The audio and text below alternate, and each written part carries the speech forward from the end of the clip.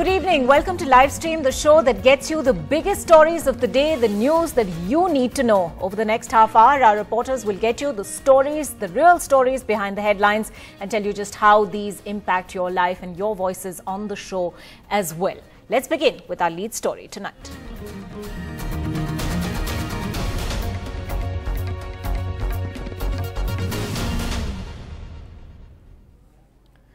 For some time now, huge traffic jams have been bringing traffic to a standstill in large parts of North India as groups of pilgrims of Lord Shiva, known as Kanwarias, pass through the capital and the neighboring areas. In the last few days, this hasn't just been about traffic gridlocks, it's about groups of saffron clad pilgrims literally overrunning the streets with their rowdy behavior. What you're seeing on your screens right now are latest visuals from UP's, Eastern UP's Muzaffarnagar area where uh, pilgrims attacked a car yet again. This has become a constant motif really. It's happened here in the national capital. It's happened in Bulandshahr in Uttar Pradesh and now in these visuals that you're seeing from Muzaffarnagar. The latest incident the third incident that we've reported on in three days, but there have been many, many others as well. Just surrounding a car, we don't know what the provocation was, but literally surrounding it, smashing its uh, windshields, dragging it for some distance,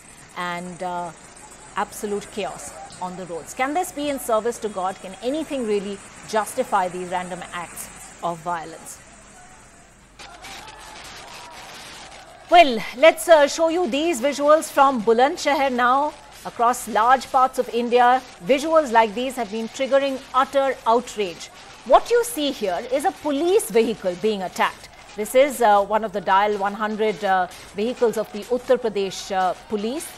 You see a group of Kanwarias, or at least people dressed in saffron in the usual garb of the Kanwarias, who seem to have gone absolutely berserk. They charge and attack the UP police's dial 100 vehicle. In fact, the police personnel in the van actually have to start running in order to save their lives from this angry mob. Now, you might well ask what the police is doing in the face uh, of all of this. Well, apparently they are greeting these Kanwarias with flowers wherever they go.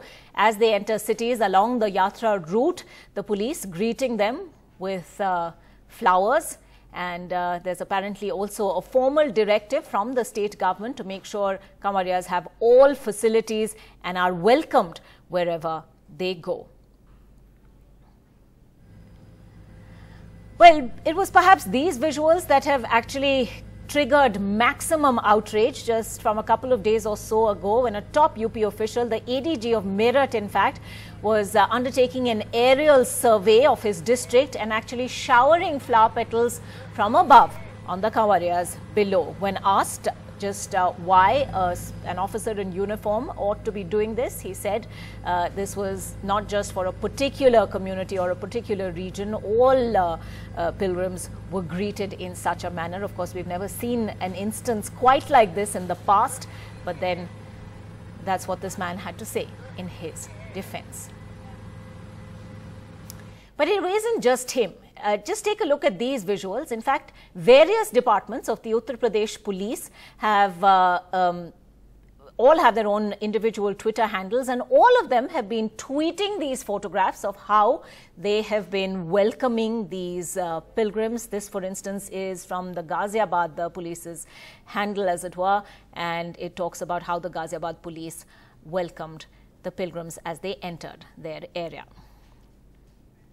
And it's not just about floral welcomes. Uh, have a look. Here's an officer, once again in uniform, actually performing seva, as it were, bandaging the foot of a Kanwaria who was apparently injured. Well, if only our uh, police officers uh, were this solicitous with anybody in need, anybody in need of a helping hand, not just pilgrims in the service of Lord Shiva.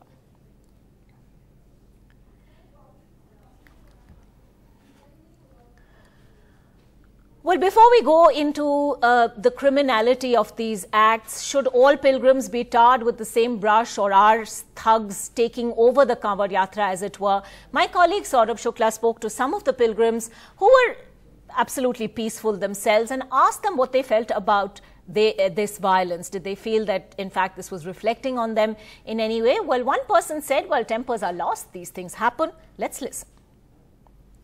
आपको लगता है कि जो कुछ कावड़िए जो हैं, बदमाशी करते हैं, मारपीट करने लग जाते हैं तोड़ फोड़ भी करते हैं, वो आप जैसे लोग जो सच्चे भक्त हैं, उनका नाम खराब करते हैं? वो कुछ हो जाता है, कई बार दिक्कत हो जाती है। कई है, कोई फ़ायदा नहीं देता है, कोई बदतमीजी बोल जाता है, कोई खड्डा कर वाले को करना पड़ती है, उनकी मजबूरी पड़ जाती है। उनकी मजबूरी पड़ जाती है बोलने करने के लिए। कोई उन्हें कोई फ़ायदा नहीं देगा, उन्हें जाना ही निकल गया दौड़ते हुए। तो कई हो जाती कोई कोई बदतमीजी कर देते कई कई लोग। हो जाता है कोई दिक्कत नहीं है। आप लोगों का नाम खराब होता है जो अच्छे कबड्डी होते हैं? हाँ होता तो फ़र्क तो पड़ता ही है थोड़ा बहुत तो फ़र्क पड़ता ही है। हम्म। क्योंकि कुछ तो वो पालन भी नहीं होता मतलब कानूनी ऐसी थोड़ा हमारा ऐसे बना पड़ा हुआ है। और सुधार भी मतलब कुछ तो ऐसे होता है काम। मतलब हैं। हाँ, है, तो ना- घर पे आ रहे ना के फ़िलहाल। जलाल चढ़ा दिया हमने नहा धो के आ रहे आराम कहाँ से कहाँ से जल लिया था से मैंने लिया था हर की पौड़ी से हर की पौड़ी से हाँ कितने किलोमीटर चले थे मैं चला था कम से कम चंडी देवी मनसा चंडी देवी, मनसा देवी और नीलकंठ सब चला ही पैदल कितने दिन लगे वही लग गया कम से कम तीन चार पाँच दिन में लग गए Well, it's uh, not just uh, in the villages of Uttar Pradesh. Look at these visuals uh, of what happened here in the national capital. Uh, this was an incident that took place in the Moti Nagar area of Delhi. Policemen ostensibly surveying the deployment of troops after Kanwarias turned violent in Delhi and smashed windows of a car with passengers still inside. The police were present even at this point. They did very little to stop the mayhem. What you're seeing is about a dozen Kanwarias smashing the windows of a car with sticks and then tipping it over as people stand by helplessly without stopping them. This car had apparently allegedly brushed past one of them on a road in Motinagar, and that's what angered them enough uh, to carry out this attack. Well, uh, my colleague Nimisha spoke uh, uh, to the DCP and spokesperson of the Delhi Police, Madhur Verma. Here's what he said. With me is DCP Madhur Verma, who's also the spokesperson of the Delhi Police. Sir, I have to start with asking about the Moti Nagar incident. Has that raised concerns about a peaceful journey being created? Of course, like you said, close to a lakh Kanwars go through, and many of them do end up acting violent. Uh, Delhi Police goes for elaborate uh, arrangement for uh, facilitation as well as security of the Kanwars and for the uh, for the uh, general uh, commuters who are traveling on these roads. We ensure that there is enough deployment on the road. Our traffic police personnel are present to facilitate the movement to, and to, al- also to facilitate the movement of commuters at the time of Kanwar Yatra. It's an uh, it's it's more than eight ten days uh, old phenomena where uh, these uh, uh, people bringing these uh, who are doing this Kanwar Yatra are coming and crossing Delhi and some of them are also are, are, are, have to reach their homes in a within within a time frame. However, last couple of days before today's um, uh, Mahashivratri, there is uh, uh, Dak Kanwar which in which there is uh, where, where where those persons who are traveling on bikes or uh, vehicles or trucks have to reach to their destinations in a hurried way. So th- that uh, further adds to the challenge. But uh, Delhi police, like every year, uh, tries and uh, make sure that there is least inconvenience to the commuters, and this this uh, Kanwar Yatra is also ends up peacefully. All right, Nimisha joining us at this point with the latest on that story. Nimisha, uh, you know, we heard that response, of course, from the Delhi police, but now as these visuals from elsewhere in Uttar Pradesh also uh, come in, Bulandshahr on our screens right now, also Muzaffarnagar, where uh, uh, another car has been attacked uh, just today. Um, does the police have a concrete plan to sort of, you know, sort out the law and order aspect of this situation without tarring all pilgrims, all Kanwarias with the same brush. Obviously, there is a serious law and order threat here.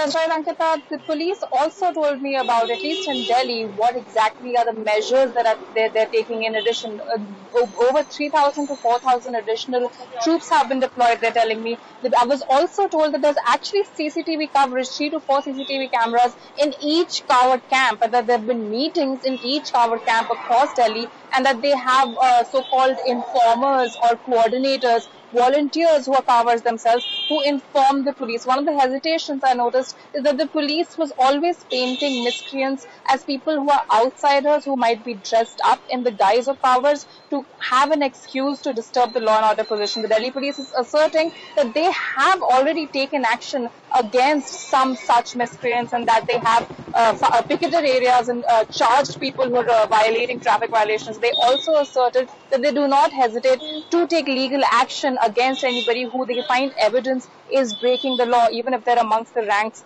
of this yatra. However, of course, we saw what happened in Motinagar. Two policemen were standing by, and unless there's a larger deployment, this is going to continue being a concern because two people cannot possibly intervene when there's such a large mob that has become violent.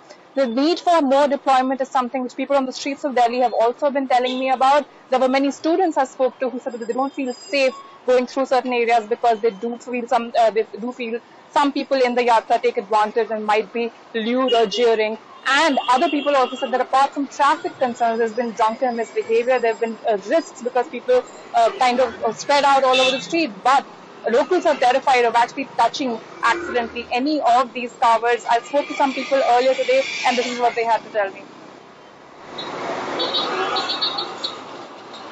All right, let's have a look at that. Close to a lakh cars passed through Delhi in the last 10 days. According to the Delhi police, the Delhi police claims that they have made adequate arrangements, but locals are not so sure. With me are some residents of Delhi. Sir, how has the yatra affected your uh, commute, your daily experience in Delhi? Have you been disturbed at all? Yes, a lot. You know, we uh, are traveling from areas like East Delhi, Ghaziabad.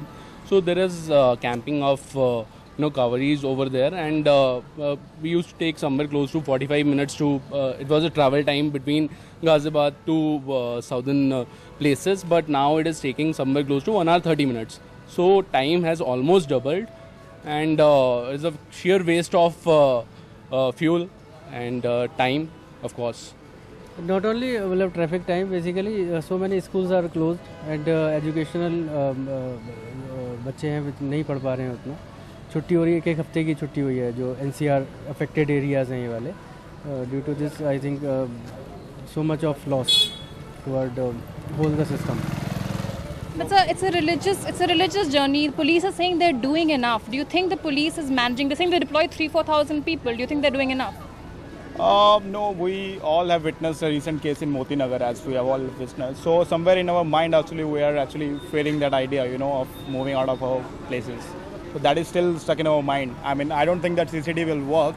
Police would have, uh, you know, done something much more better to actually uh, get the things done in time.